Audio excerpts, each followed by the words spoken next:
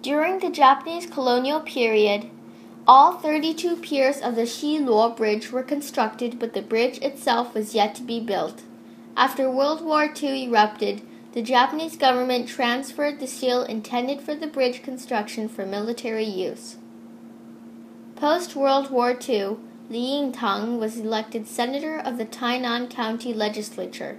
As soon as he assumed office, Li Yingtang proposed to complete construction of the Shiluo Bridge on several occasions. He also teamed up with Liao Chongguang, then chairman of the Shiluo Bridge Construction Alliance. Together they petitioned for continuation of bridge construction and asked that the proposal be passed on to the Taiwan provincial legislature. During the months of May and June 1948, the provincial governor Wei Daoming came to inspect Shiluo twice. Li Yingtang took advantage of this opportunity to present his petition for the continuation of the construction of the Shiluo Bridge. Despite his relentless effort, the government repeatedly rejected his proposal due to high construction costs. In September of 1949, Li Yingtang's good friend and fellow alumnus of Doshisha University High School and University, Reverend Cai Ai-zhi, returned from the United States. Cai told him about the availability of U.S. foreign aid and suggested that Li seek U.S. assistance for the bridge construction. Li Yingtang then sent a letter directly to the U.S. Economic Cooperation Administration to petition for U.S. aid. Li Yingtang took the drafting of the letter very seriously. He traveled to Tainan to ask fellow alumnus Xiao Renci's assistance with the English writing. Xiao majored in English at Doshisha University and was good in English. However, Li was not satisfied with the letter drafted by Xiao. Li then wrote it himself and went to Tainan again to have Xiao edit the letter. At that time, there were very few typewriters in Taiwan. After the petition was drafted, Li asked another alumnus of Doshisha, Mr. Ling Chengzao, who worked at the U.S. Information Service in Tainan, to type the letter. After the letter was typed, Li Yingtang brought the letter from Tainan to Taipei and delivered it to the Taipei office of the U.S. Economic Cooperation Administration. Li Yingtang's health deteriorated during the drafting of the petition. He had a high fever almost on a daily basis. Traveling between Tainan and Shiluo was not easy and took half a day. After the letter was completed, he then traveled to Taipei. Most people in good health would have suffered from all the travels, let alone someone who was sick. His wife would often say, You die working this hard. The instrumental letter played an important role.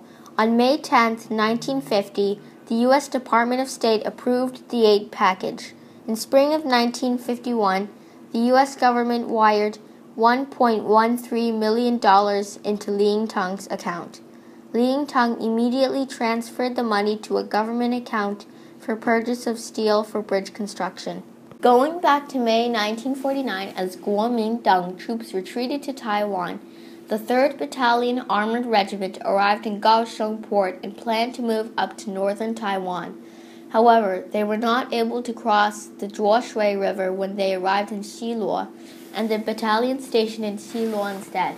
The battalion commander was Xu Guangsheng, and the commander of the armored forces was Xu Tingyao, and the deputy commander was Jiang Weiguo, son of Generalissimo Chiang Kai-shek. Li Yingtang was then mayor of Shiluo Township and provided logistical support to settle the battalion. He installed electricity and water at classrooms located in the Shiluo Elementary School. In addition, Li provided his official mayor residence to the battalion commander and his family. He also kept one of the rooms as a guest room. Whenever General Jiang Weiguo inspected Shiluo, he would stay at the guest room at the mayor's official residence. This is how General Jiang and Li became acquainted. There's not a doggy sound. Unknown to most people, Li has kept a newspaper clipping of General Jiang Weiguo in his scrapbook. The article from between 1930 to 1931, when Li studied in Japan, was written when the general was still a little boy. The article must have interested Li, and he saved the article.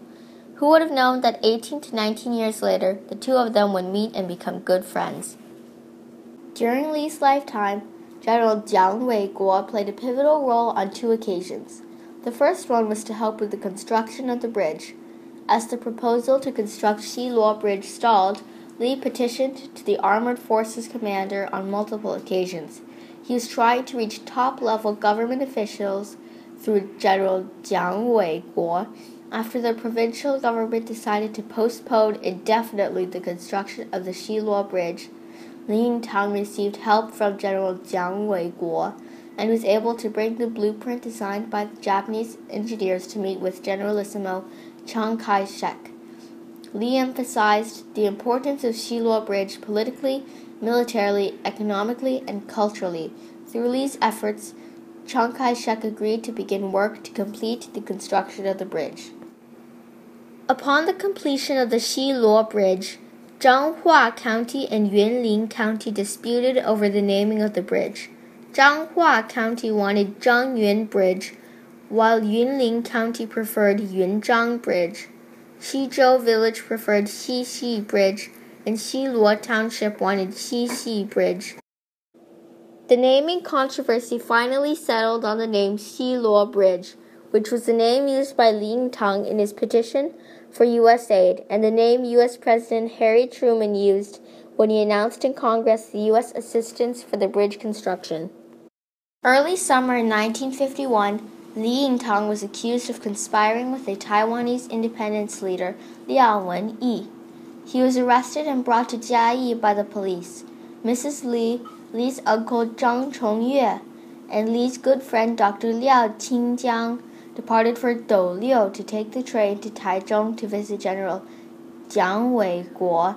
When they arrived in Douliu, the group inadvertently took the wrong train. They realized their mistake when they arrived in Qingshui and returned to Zhanghua.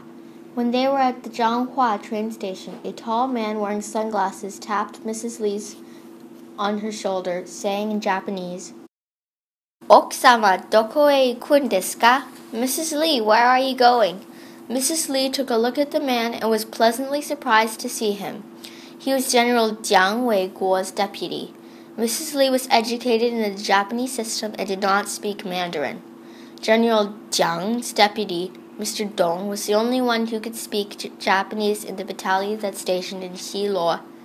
Dong told her that General Jiang split his time between Taipei and Taichung and that he was in Taipei at the moment.